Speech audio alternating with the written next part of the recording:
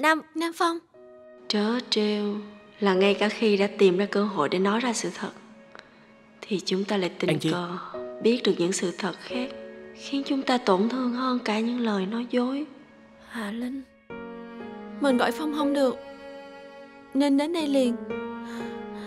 Mình xin lỗi Mình đã không đúng hẹn với Chi. Có chuyện gì xảy ra với Phong hả? Bây giờ mình chỉ muốn lên phòng nghỉ ngơi thôi.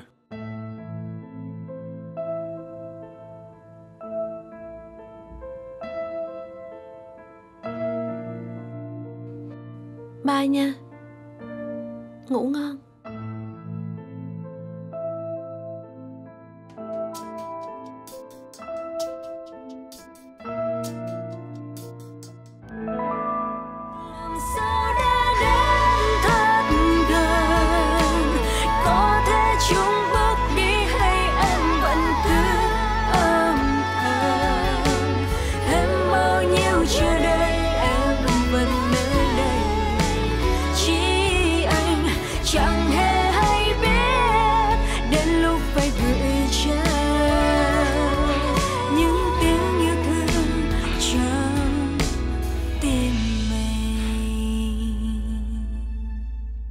Khuya rồi còn ngồi ngoài này làm gì đấy hả? Minh Huy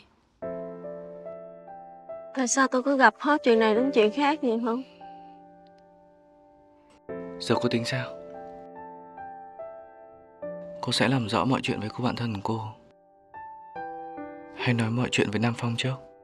Tôi sẽ đợi Hạ Linh thêm một thời gian nữa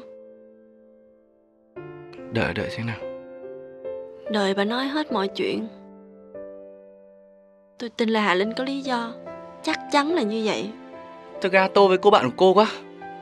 Nếu là một cô gái khác ấy Kiểu gì cũng nhảy dựng lên Rồi gào thét. À, Này con quỷ cái kia Sao dân giật bồ của bà? Hả? Có xứng đáng là bạn thân của bà hay không? Hả? Cái đó quỷ quái đê tiện hèn hạ. Annabelle ngốc nghếch của tôi. Tin bạn quá đây mà. Ôi. Annabelle này Nếu mọi chuyện mà trở lại bình thường ấy Cô sẽ quay lại với Nam Phong à? Ừ. Tôi rất là thích Nam Phong.